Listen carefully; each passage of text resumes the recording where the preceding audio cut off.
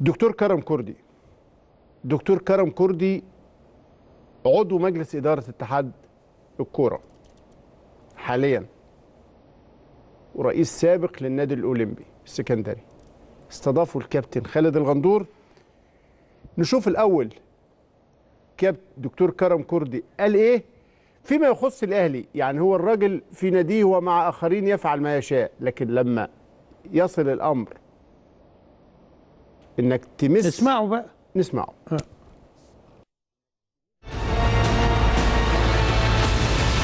أخيرا قريت بيان كابتن محمود خطيب لترشح آه قريته النهارده. رأيك؟ بيان عقلاني جدا و مش شايف إن في عيب إن هو آه، الجزء اللي هو آه، آه، مخاوف على قيم ومبادئ الأهلي؟ ترشحت بسبب المخاوف على قيم ومبادئ النادي الأهلي؟ آه يعني بص ما هقول لحضرتك حاجة. مم. يعني ما هو دايما النادي الأهلي دايما يتشدق بموضوع إيه؟ قيم ومبادئ ومش عارف إيه. لكن إحنا إحنا اللي في المجال ما إحنا عارفين إن هو من بره هلا هلا ومن جوه يعلم الله. من الآخر؟ أنا شايف كده. القيم والم... القيم والمبادئ أنا من وجهة نظري بتبقى مرتبطة بالأشخاص. يعني مفيش نادي لا. مفيش مبنى لا نقول معلش. عليه قيم ومبادئ. لا لا يا كابتن. نقول لا نظام و system. يعني أنا هقول لحضرتك حاجة. نظام و system. لا لا لا ومبادئ. ومبادئ. هو المبادئ دي افرض افرض واحد مثلا بينتمي لنادي طلع حرامي مثلا. آه معلش ما هو لكل قاعدة شواذ. عنده مبادئ؟ لا لكل قاعدة شواذ. لكن إحنا ما نقدرش نختلف إن النادي الأهلي هو أكتر نادي منظم في مصر. وده اللي بتكلم عليه. آه. منظم و system. ما هو القيم والمبادئ ليس لها علاقة هو بالنظام وال system. لا لا. ما هو اللي ما عندوش مبدأ. آه. عمره ما هيمشي كويس في النظام. آه. لازم يبقى أنت عندك مبدأ ومتربي عشان تعرف تمشي في النظام ده. آه. وإلا هتخرج عنه.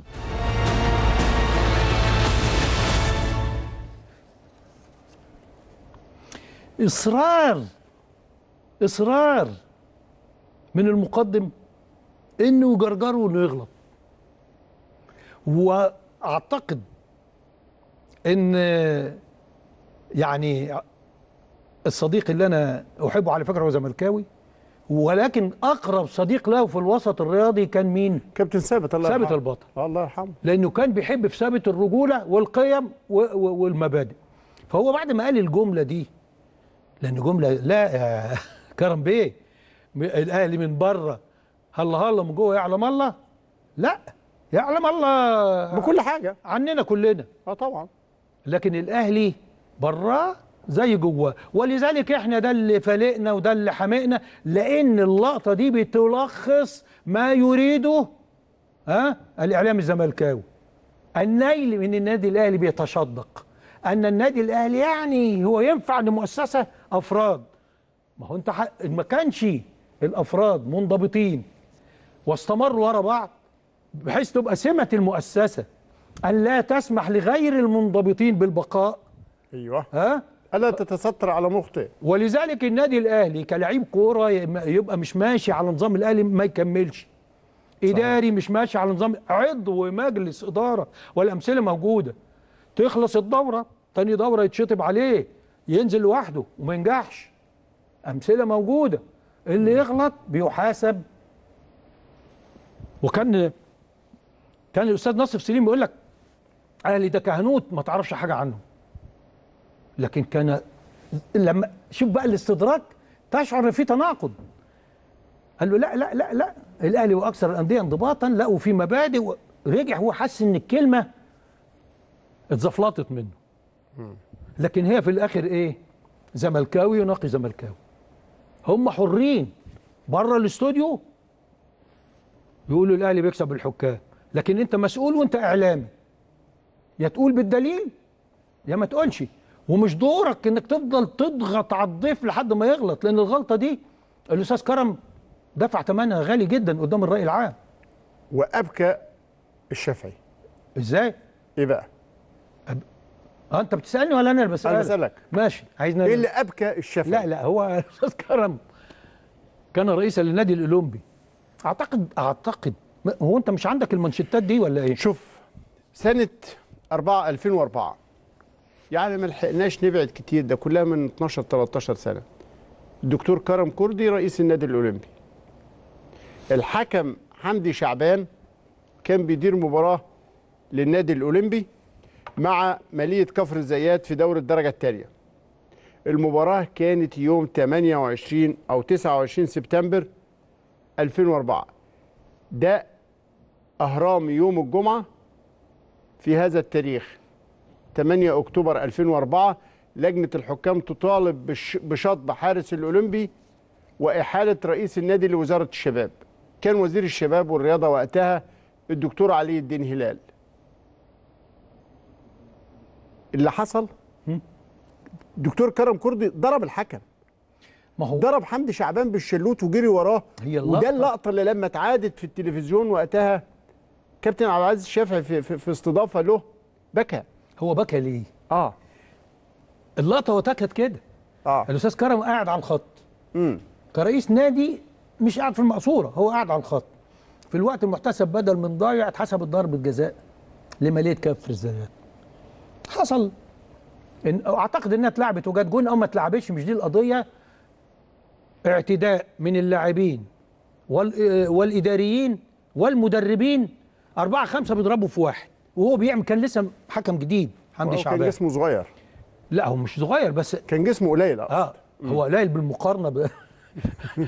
بمحمد رشوان. الكردي. طبعا. آه. هو ده اللي عيط الكابتن عبد آه. عبد العزيز. كرم كردي بقى وقتها. كان كده. ضخم. آه. فالحكم لقى الأستاذ كرم قاعد فقال لك أجري أستنجد بيه يحميني. هيقتل. فوهو بيجري راح الأستاذ كرم قايم واخد خطوتين وطاير رقعه شلوت موقعه على الأرض.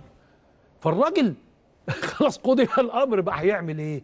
اللقطة دي اتذاعت في التلفزيون على الكابتن عبد العزيز الشافعي بصفته رائدا رواد الحركة الأولمبية وأحد قياداته المهمة. لما الكاميرا رجعت عليه أنا نفسي لما شفت اللقطة دي آه، جسمي يعني يعني سخنت قوي مش سخين إيه ده؟ ليه كده؟ الراجل بيستنجد بيك يعني ده شعوري وقتها. آه، وقتها ما كنتش على علاقة مباشرة والأستاذ كرم. و- وفعلا وفعلا صدر قرار آه، آه، بعقوبة آه، الأستاذ كرم وقتها. لكن ما هو أستاذ كرم هي دي النقطة بقى. هي دي النقطة. إن أنت وبتحاسب الناس وبتحكم على الأحكام طب النادي الأهلي لو حد أجيب لك بقى المثل المقابل. برضه مع النادي الأولمبي. ها؟ بس آه. ما كانش هو بقى الأستاذ كرم اللي موجود. الكابتن عبد العزيز عبد الشافي والكابتن محمود الجوهري وفي مباراة مع النادي الأولمبي. الكابتن الجوهري اتضايق من الحكم فزي ما حصل مع عبد العزيز عبد الشا... مع سيد عبد الحفيظ إيه إيه إيه لقينا الكابتن عبد العزيز راح متهجم على الحكم متهجم هجم على الحكم كده إيه اللي حصل؟ أوقفه الكابتن صالح سليم ما استناش كابتن صالح أوقف كابتن زيزو. إدارة النادي الأهلي. أوكي. مش عشان نقعد. نقول آه شخص. كابتن آه الكابتن صالح هو مسؤول؟ ودفع كابتن عبد العزيز اللي هو 100% كان مندهش. ما هو أنا اتقال لي كده. أنت هتسكت ولا؟ عشان كده أنا بقول احموا الإداريين والمدربين إن هم يتصدوا للظلم مش دورهم. هم المثل اللي يسيطر على اللعيبة لأن أنت لو جريت هيجري وراك اللعيبه بالظبط. هتيجي تحوشهم يكون الموضوع خلص. بالظبط. توقف لك اتنين تلات لعيبه بالظبط.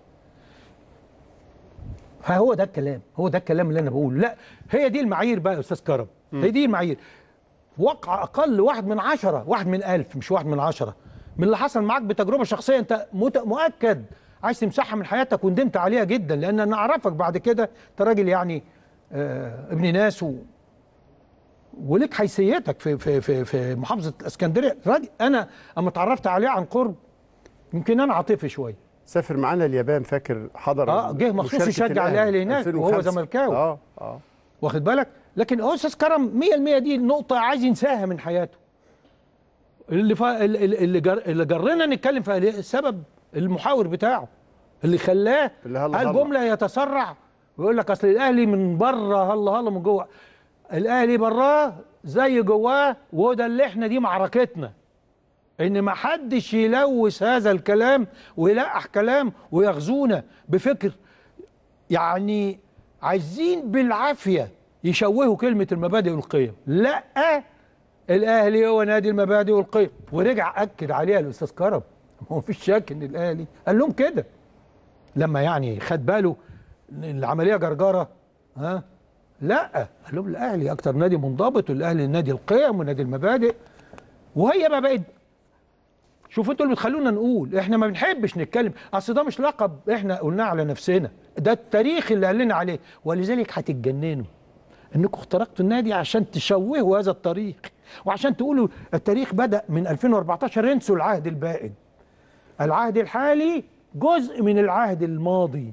ويكمله ويضيف إليه. والعهد القادم هيكمل الليلة دي. ما تظلموش 2014 2017 ما تظلموهاش. الناس دي مش عايزة تخرج عن كتالوج الأهلي. لكن هي اللي سمحت إنكم تبقوا قريبين وتشوهوا الصورة. والله الأهلي مخترق وإحنا بندفع ثمن الاختراق ده. أهو الإعلام. هتلاقي كل اللي بينتقدوا الأهلي مين؟ إخواننا اللي بنحبوه. بس يا ريتهم يفضلوا حبايبنا بس في ناديهم بس. كانت من توابع ما حدث إنه تم شطب حارس الأولمبي المعتدي على الحكم وقالت آه، المواقع وقتها منها موقع في الجول في 11 أكتوبر 2004 إنه اتحاد الكره برئاسة الكابتن عصام عبد المنعم كان مجلس إدارة معين قرر شطب حارس المرمى محمد جمعة ده حارس الأولمبي اللي اعتدى على الحكم وقال مدحت شلبي مدير الإعلام في اتحاد الكره وقتها ده في أكتوبر 2004 إنه مجلس الإدارة اتخذ عدة قرارات رادعة تضاف إلى عقوبات مالية وقعت على الاولمبي وتقرر شطب حارس المرمى بعد أن أكد الحكم الرابع في تقريره أنه اعتدى على الحكم حمدي شعبان. كما قرر الاتحاد حرمان كرم كردي رئيس النادي الأولمبي من حضور مباريات فريقه في الملعب طوال الموسم الكروي 2004 2005 والنقل أول مباراتين لفريق الاولمبي خارج مدينة الإسكندرية وقال إنه لجنة المسابقات كانت أوسط آه، وقعت عقوبات الأسبوع الماضي بتغريم الأولمبي 25 ألف جنيه وإيقاف حارس مرماه آه، سيزار ستة شهور مع تغريمه 3200 دولار وتغريم رئيس النادي 10000 جنيه واعتمد اتحاد الكرة هذه العقوبات وأضاف إليها العقوبات الجديدة نظرا لشغب لاعبي وإداري الأولمبي والاعتداء على حكم مباراتهم مع عملية كفر الزيات في دور القسم الثاني.